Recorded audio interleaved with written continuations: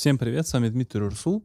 В этом видео я хотел бы поговорить о преимуществах, которые э, вы можете использовать, когда переводите MIDI в аудио.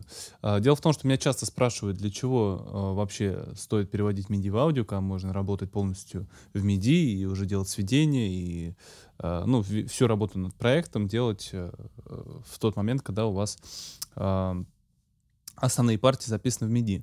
Вот. Я сразу скажу, что я лично всегда разграничиваю, то есть э, у меня, э, если я работаю над композицией от и до, я всегда делю ее на три этапа. Первый этап — это запись, аранжировка, а, когда прописываются партии, подбираются, работа с MIDI или живыми инструментами, с дублями и так далее.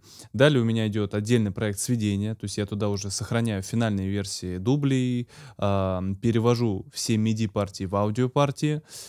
И третья стадия — это уже мастеринг, когда я вывожу уже сведенный проект э, и уже делаю мастеринг отдельно в отдельном проекте. И я, на самом деле, настоятельно рекомендую делать именно так. Это, во-первых, дисциплинирует, а во-вторых, эм, очень много дополнительных возможностей есть, которые не всегда бывают, когда у вас все в одном проекте. Во-первых, э, это, конечно же, ресурсы.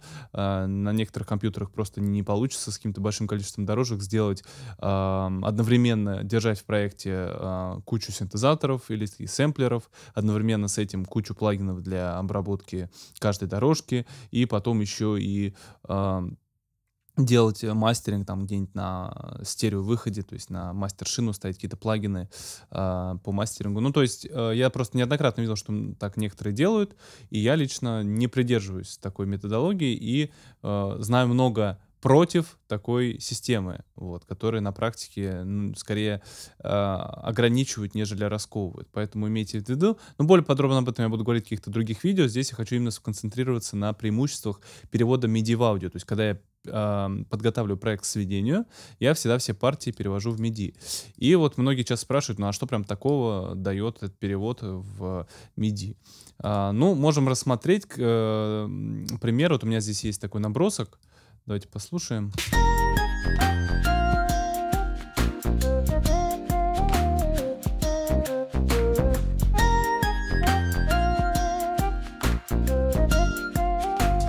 А, вот, допустим, я хочу сейчас вот, этот, вот эту партию вот этого высокого синтезатора а, перевести в а, MIDI в аудио, точнее, из MIDI в аудио.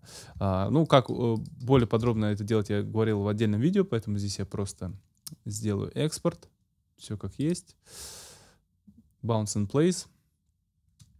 И, э, во-первых, во-первых, у меня есть э, доступ к волноформе, то есть я могу посмотреть, что у меня как происходит в звуке, э, потому что бывает, что фазы, например, одного синтезатора э, складываются с фазой другого синтезатора, и они вместе звучат не так жирно, как по отдельности. Это особенно э, относится к тем, кто работает с танцевальной музыкой, там, с трансом и так далее. То есть там очень это важно за этим следить. В MIDI вы за этим никак не проследите.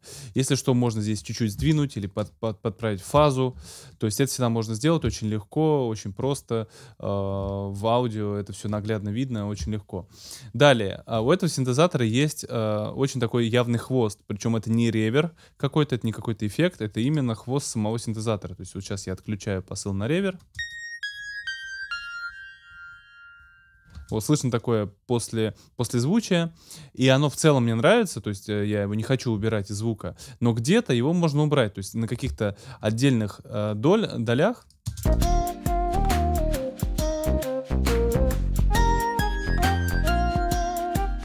Вот здесь, например, я хочу просто вырезать.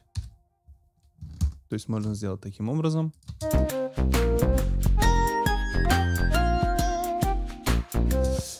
Или там как-то более коротко. Ну, то есть можно сделать э, таким образом, можно сделать какие-то гличи, то есть можно обрезать, например, э, допустим, по 32 эту зону. Так, здесь давайте тоже ровно отрежем. Фейт нам не нужен.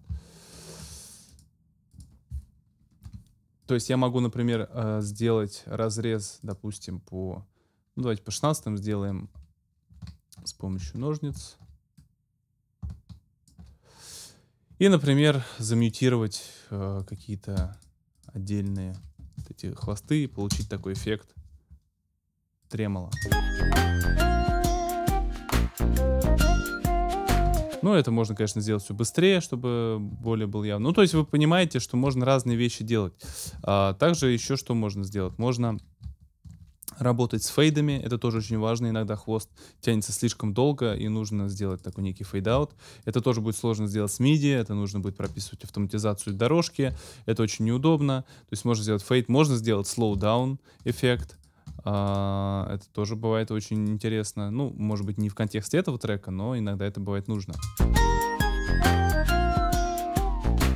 Ну, то есть идея понятна. Также можно какие-то звуки потом отдельно э, тюнить и стрейчить, использовать flex time, э, чтобы создавать какие-то спецэффекты. Ну, то есть аудиоформат, он все равно имеет такой ряд некоторых преимуществ, которых нет MIDI. То есть MIDI — это, я бы сказал, такая первая стадия работы со звуком, то есть вы набрасываете партию, аранжировку, вы можете быстро поменять звук, вы можете поменять тональность без потери качества. Это все понятно.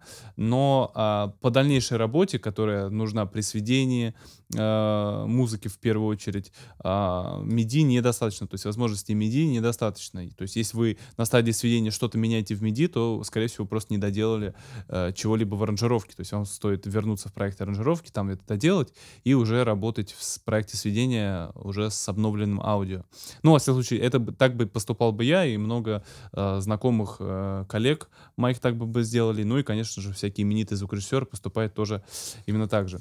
А, поэтому советую, если у вас еще нет такой какой-то организации, самоорганизации по этому вопросу, вот советую вам попробовать как-нибудь на каком-нибудь проекте все-таки а, работать больше с аудио, э, во-первых, будут какие-то новые возможности открываться, и, возможно, э, идеи какие-то новые приходить, когда у вас есть доступ вот к таким вот а, мелким каким-то изменениям, редактированиям, то есть, как я уже сказал, можно фазу поменять, можно что-то растянуть, замедлить, то есть то, что не получится сделать с MIDI-партией. Э, вот, поэтому обязательно попробуйте. У меня, в этом видео я наверное, уже больше ничего не добавлю. В целом все понятно. Конечно, может быть, какой-то аспект я забыл конкретно по, что можно еще с аудио сделать, чего нельзя сделать с MIDI. Но я уверен, что вы уже сами эту идею разовьете и поймете, что в этом есть ряд преимуществ.